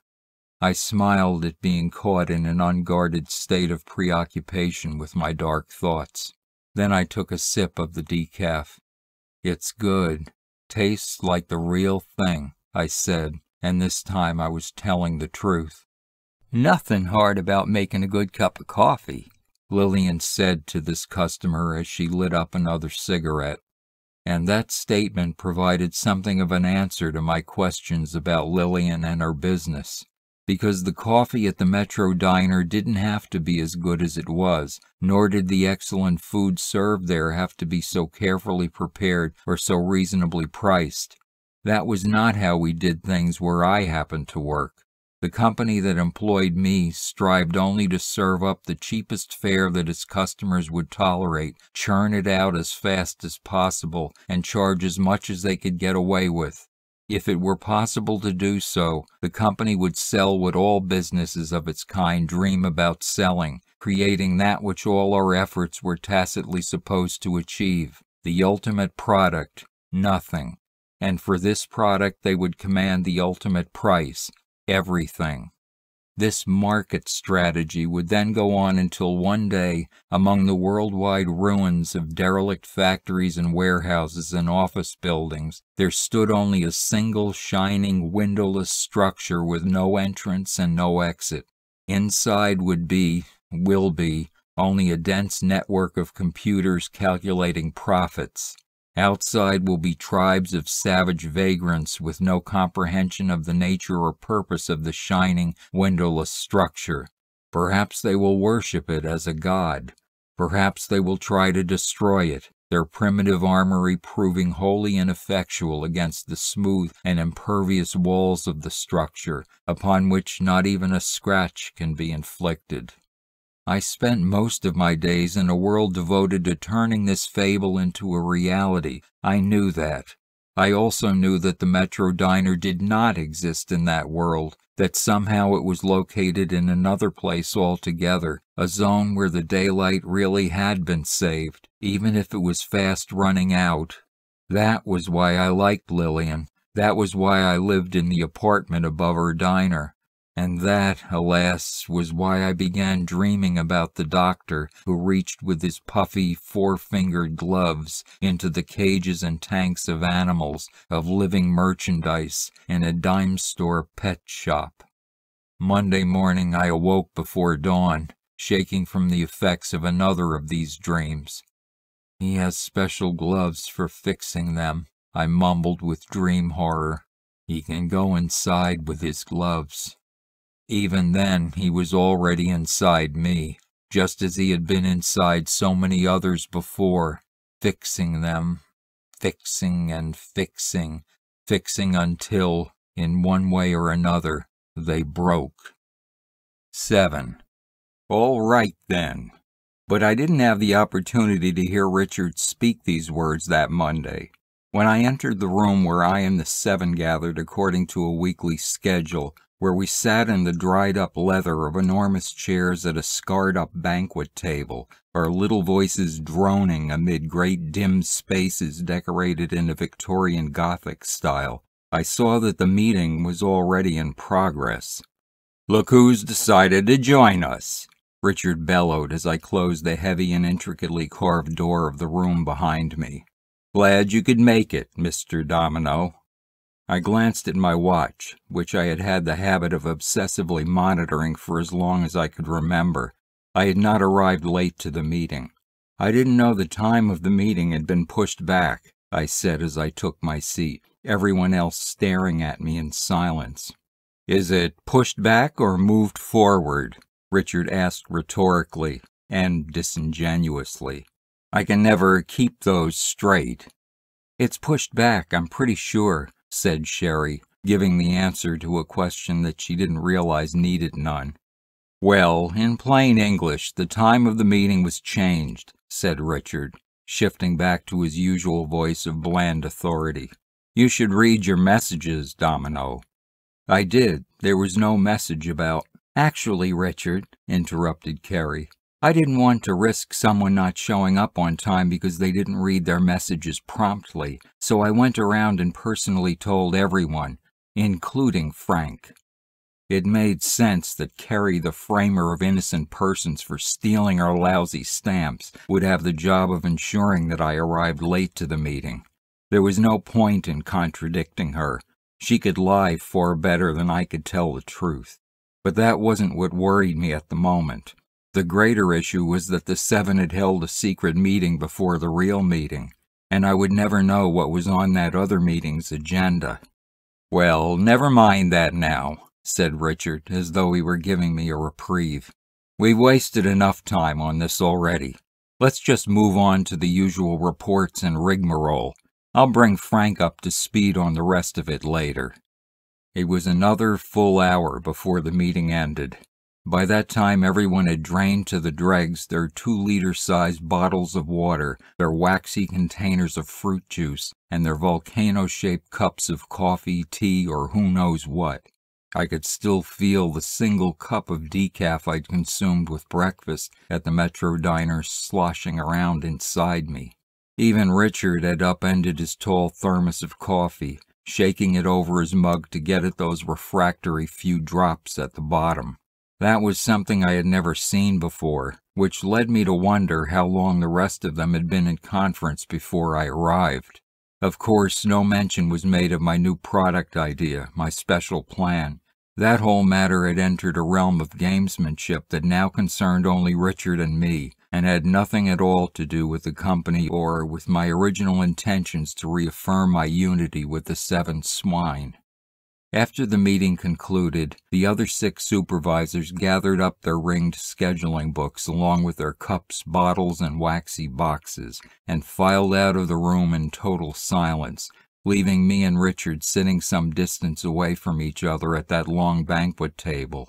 Richard was still shuffling some papers around and scribbling in his own scheduling book, or rather books, plural, while I waited anxiously for him to bring me up to speed.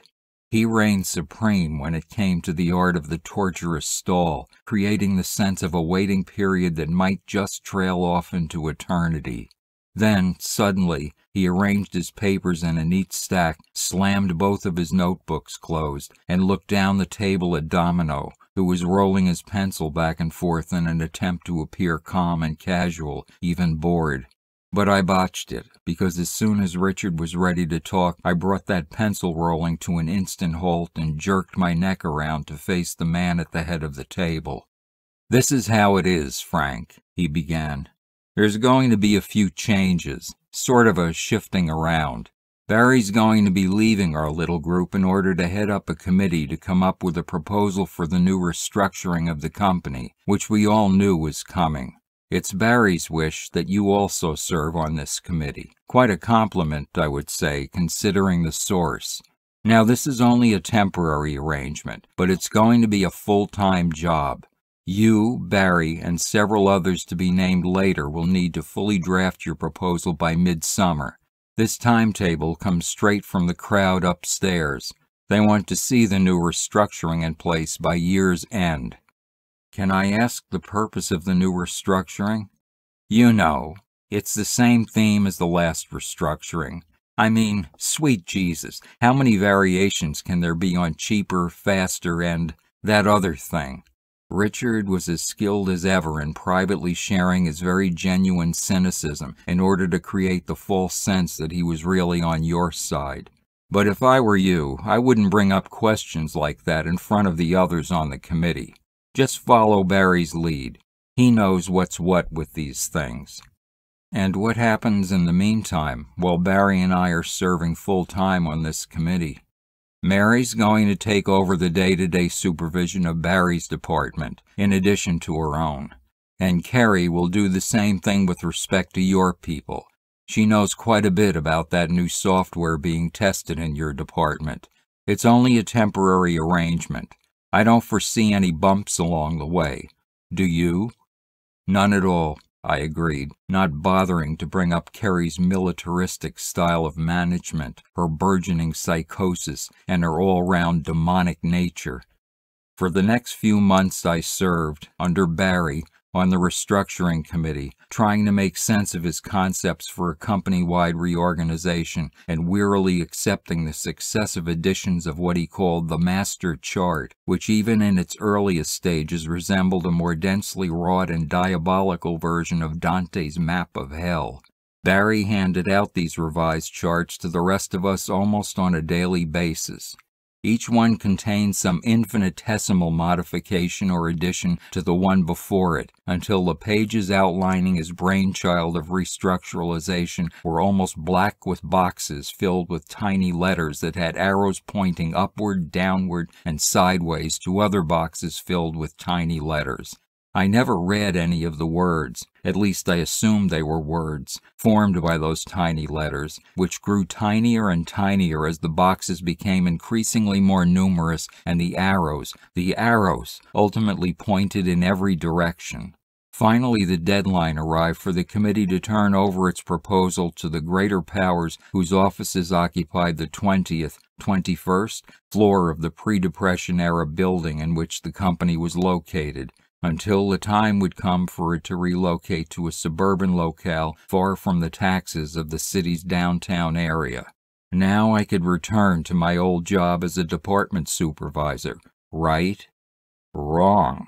Because under Carrie's management, two of my old staff had transferred to another division, two had left the company, and two had been fired. Wrong. Because Carrie had her staff, Carrie's special forces, she called them, doing all the work once done by both my staff and hers. Barry didn't return as the supervisor of his old department either, but that was the way things were supposed to work out. He would start working on phase two of the company wide restructuring while his staff was integrated with Carrie's special forces. Two understaffed departments were now doing the work of three that had been fully staffed. If I had only paid closer attention to Barry's charts, I might have noticed that this merging of work cells was part of the company's restructuring. And wrong again, because I had been given a new role in the company's puppet show, and Richard was pulling the strings with the four surgically dexterous fingers of his great gloved hands. 8. By the end of the summer, I was sitting in one of Barry's tiny square boxes in a corner of the company far removed from where I had been just a few months before. My co-workers were now temporary help, college co-ops, and persons who possessed the ability to spend every workday with their eyes positioned 18 inches from a glaring blank screen their fingertips in constant motion across their keyboards, a never diminishing pile of pages stacked on the desk counter beside them. On the rare occasions that I ran into one of the seven, perhaps in a lavatory, perhaps in a hallway, they never failed to greet me with the sweetest smiles and concerned inquiries into how I was doing. Just fine, I replied, although my unsmiling face and dead voice gave me away to the victorious seven, who were on the side of righteousness, the rule of corporate law, and Richard. Speaking of home, I should record the fact that every so often I still received messages from him asking about my new product idea and suggesting that perhaps the time was nigh for the company to make some riskier moves. Was he serious? I didn't know. Did he want to use the complete documentation of my idea, my special plan, to undermine my status in the company even further than he already had? Or was there some other reason altogether that he kept up communication with me on this subject? I didn't know, I didn't know. But I did know one thing. No good could come of giving Richard what he wanted from me. He would never, ever see the full documentation of my idea because it was now in a very safe place, and withholding what Richard wanted did give me some minuscule satisfaction that mitigated, however slightly, what I had endured at the hands of the seven. So why did I stand for such treatment? Why didn't I leave the company? Why didn't I do any of a dozen things that I had contemplated doing for many years? At the time, there was only one answer to these questions. The doctor had gone inside me, and with his gloved hands he had fixed me and fixed me good. Did I mention that I suffered from obsessive compulsive disorder? Even for a person of average emotional stability, the lust for revenge can be quite a time consuming affair. For me, it was all consuming. It shoved aside every other thought that got in its way, every fantasy and feeling that might have led me back to my former self, every memory of who or what I had ever been. My nights and weekends were now taken over by a set of constantly recycled scenarios in which Dominio had his day. And that day was soaked in bathtubs of blood, a day of judgment overseen by a never setting sun that burned madly red against a black sky. But I had always been weak, and as I think I might also have mentioned, I had always been afraid. So Dominio would tough it out. Dominio would hang in there. Dominio would lay low until, until, until what? I had no idea. Until one night I was preparing to leave work, putting away my ID badge, shutting down that staring square of the blank, etc and, obsessive compulsive that I am, I had gotten into the habit of placing a page from a legal pad on top of my pile of unentered data, a page on which I had written, work not done, just in the unlikely event, just on the remotest chance that someone from the cleaning staff, or who knows who, might see the pile of data as the waste paper which, in fact, it could justly be mistaken for, no one else among my coworkers, it goes without saying, ever took such precautions. I, on the other hand, could not maintain that puny part of serenity that I still enjoyed without doing so. But when I arrived at my desk the next morning, my work not done note, along with the whole pile of unentered data it covered, was gone, nowhere to be found, disappeared. I reported the missing materials to my supervisor, who, strangely enough, did not seem in the least concerned with its whereabouts.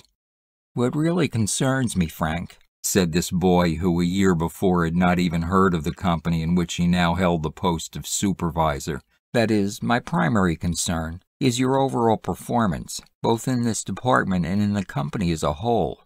You're the least productive employee in the department, for one thing and I've been looking at your file from Human Resources. It's kind of ugly if you want to know the truth.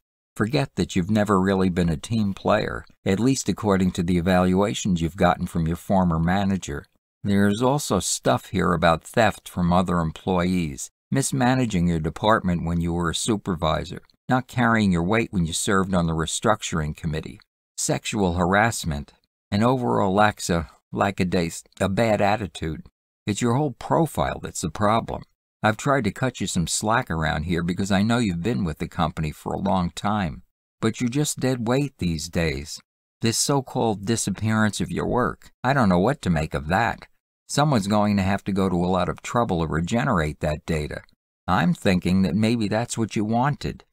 After continuing in this vein for a while longer, my punk of a supervisor gave me the option of resigning from the company, which I did immediately. I didn't want to, I really didn't, but there was no other choice.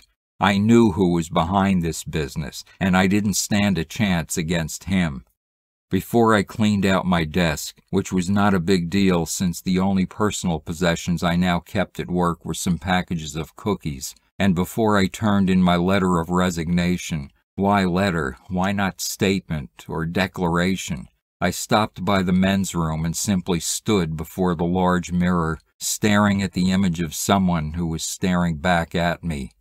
He was of average height and build, average weight, average age, with hair neither long nor short.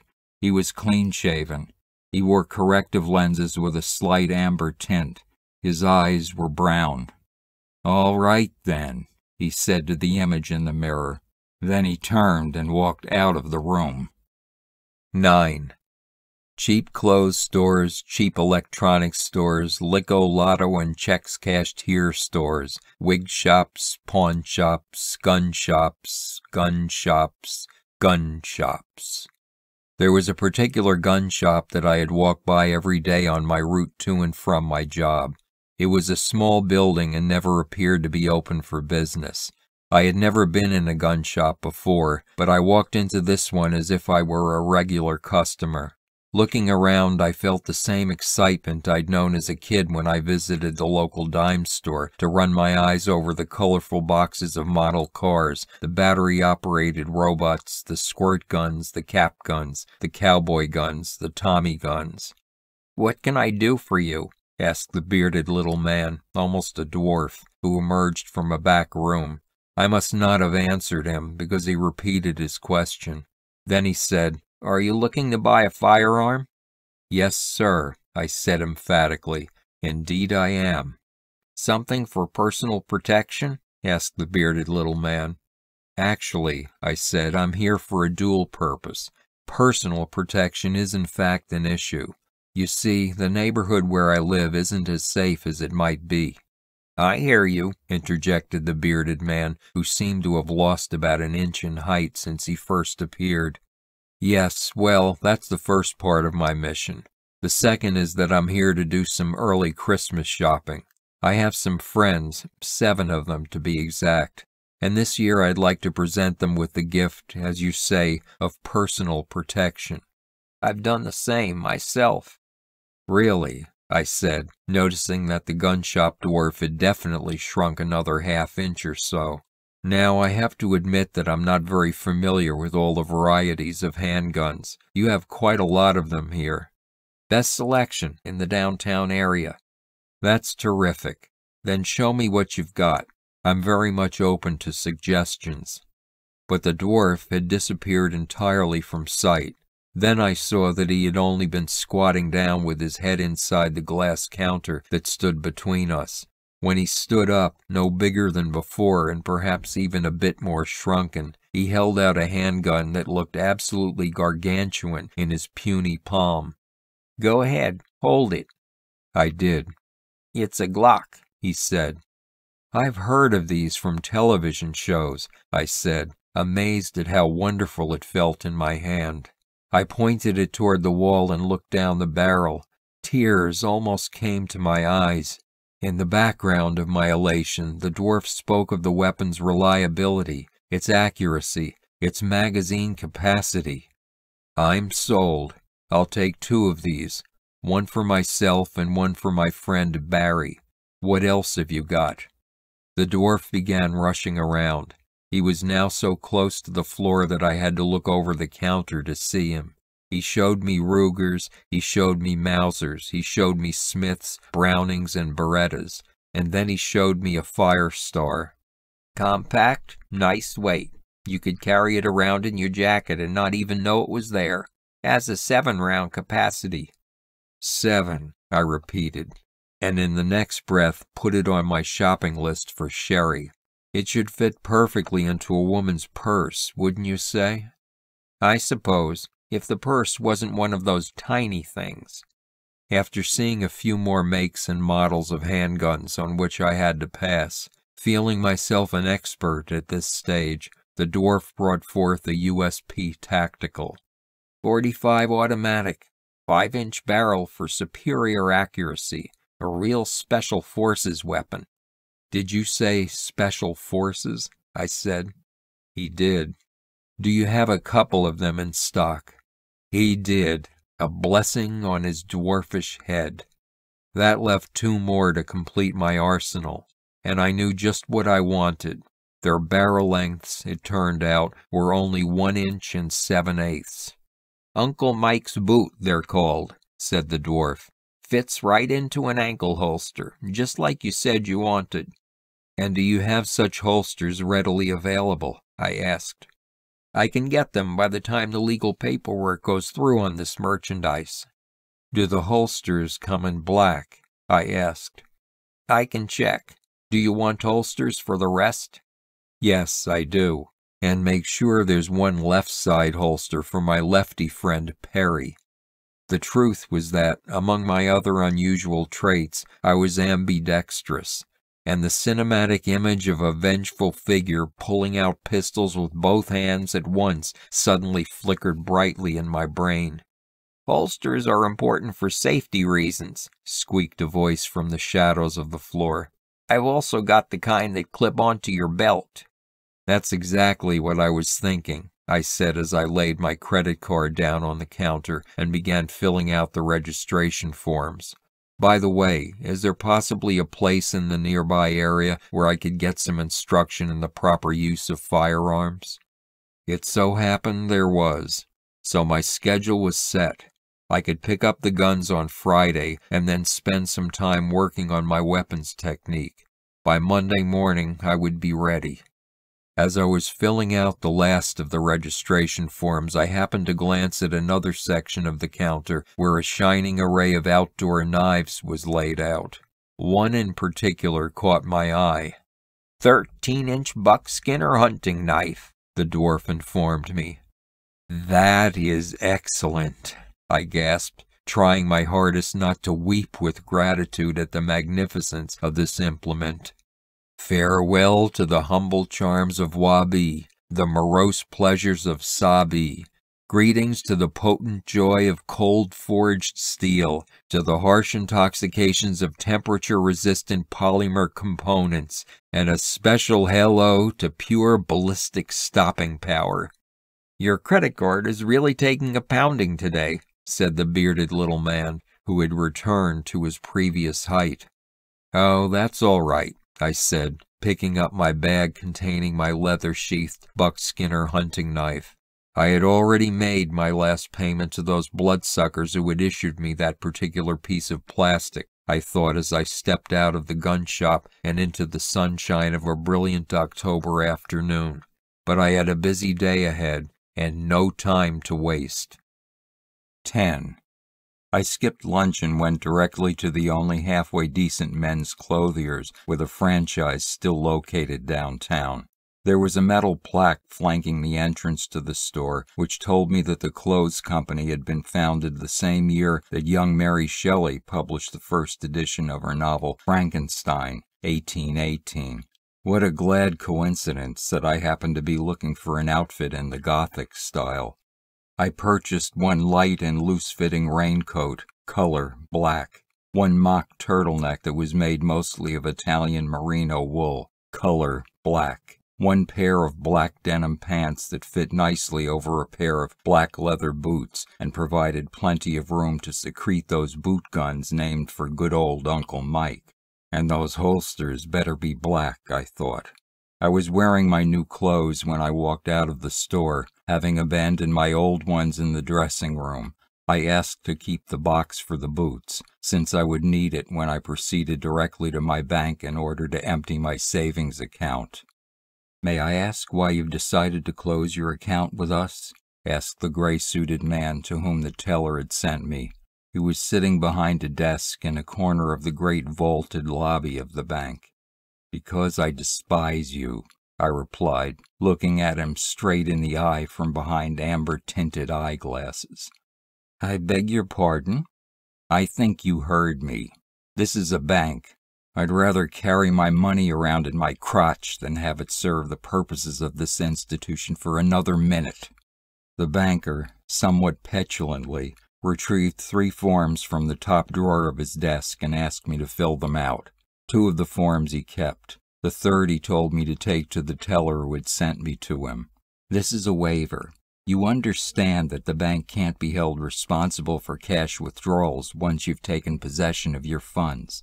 Even while you're still on the bank's premises, our security guards will not be available for your protection.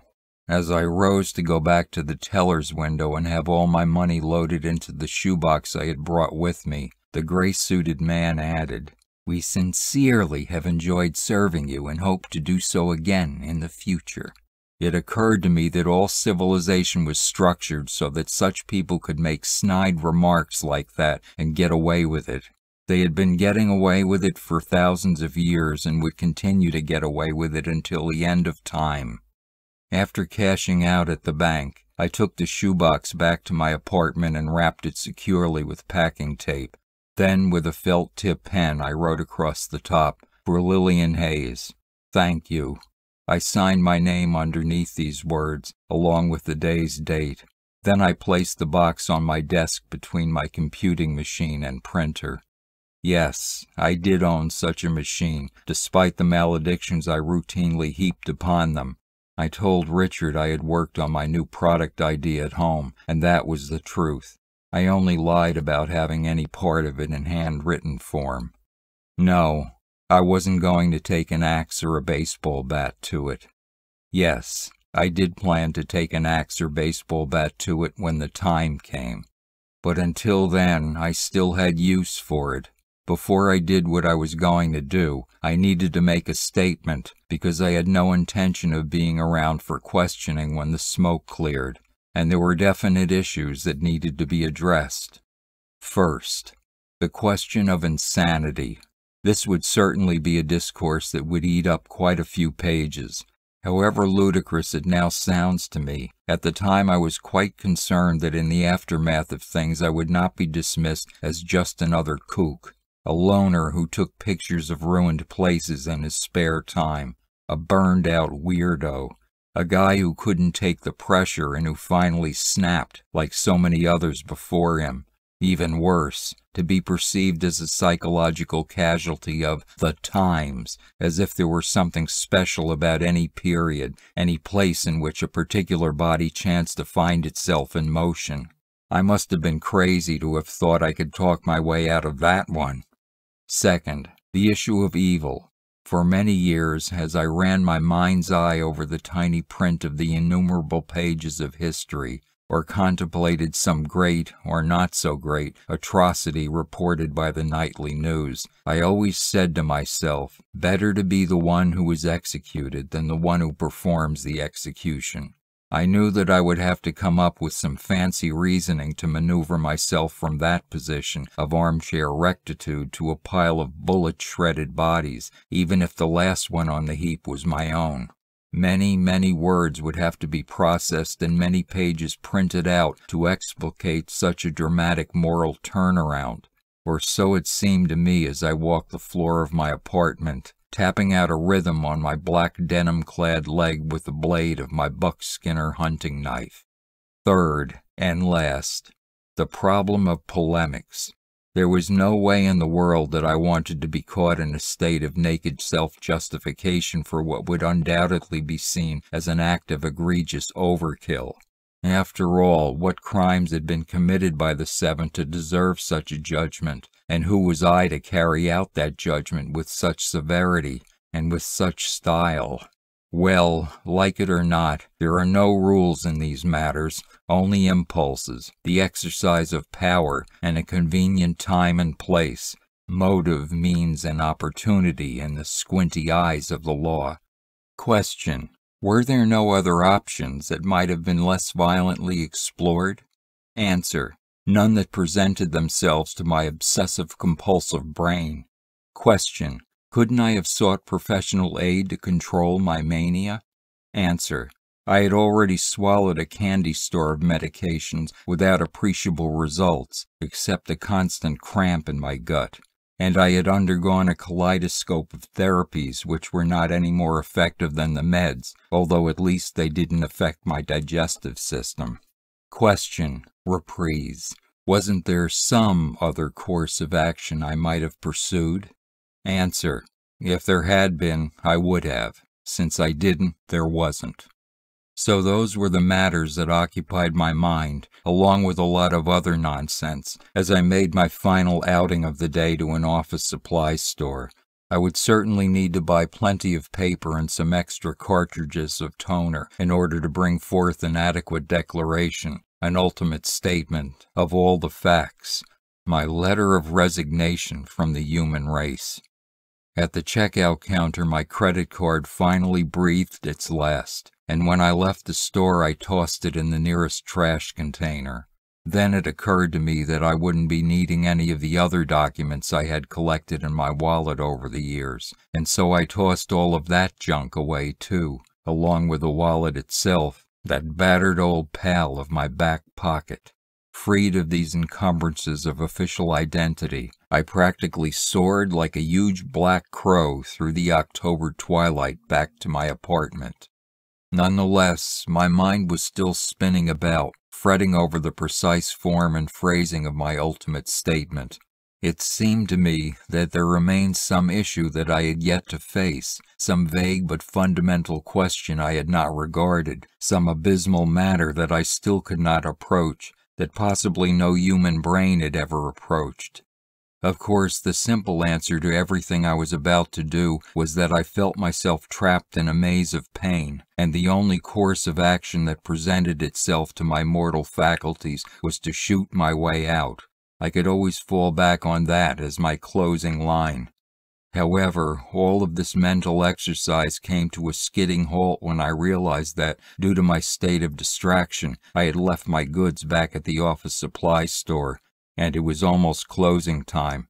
Spinning around on the sidewalk, I began racing back toward my point of purchase. But something happened that kept me from ever reaching that destination. When it happened, I couldn't say. Where it happened, I couldn't say. What it was, that I could say. It was the loudest sound I had ever heard in my life.